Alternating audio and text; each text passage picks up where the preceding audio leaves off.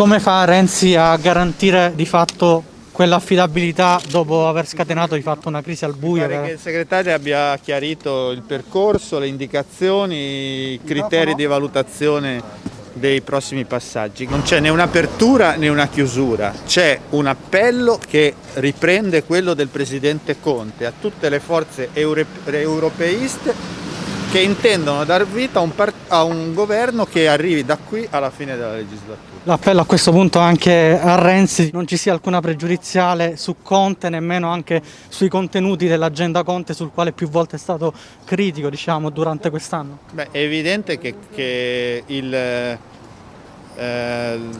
l'appello parte dalla personalità che viene indicata alla guida di Palazzo Chigi. Non do né patenti di affidabilità né di, né di inaffidabilità. Io eh, eh, attendo, come tutto il Partito Democratico, eh, che le forze politiche di fronte al Presidente della Repubblica dicano con chiarezza cosa vogliono fare, poi valuteremo. Da Renzi inaffidabile a niente veti, però è una resa quantomeno ai numeri del Parlamento, quelli sono e bisogna cercare tutti di fare un passo indietro, anche voi?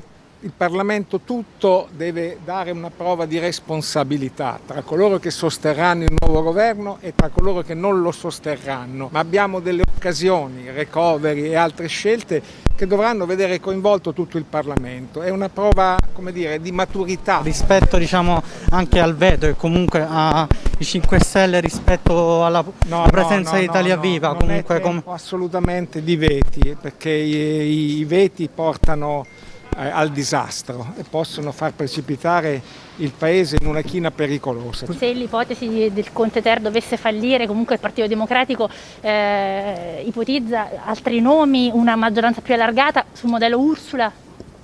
Eh, dipenderà dalle forze che aderiscono a questo appello, non, non è che noi facciamo a tavolino il perimetro. Il perimetro è la conseguenza delle disponibilità che si manifesteranno. La posizione di Marcucci non è per forza Conte, diciamo, il Premier, se non ci fossero i numeri, questa è una posizione minoritaria Guardi, oppure... La relazione di oggi eh, è stata approvata all'unanimità, eh, è la linea del Partito Democratico nel suo insieme, non della maggioranza del Partito Democratico.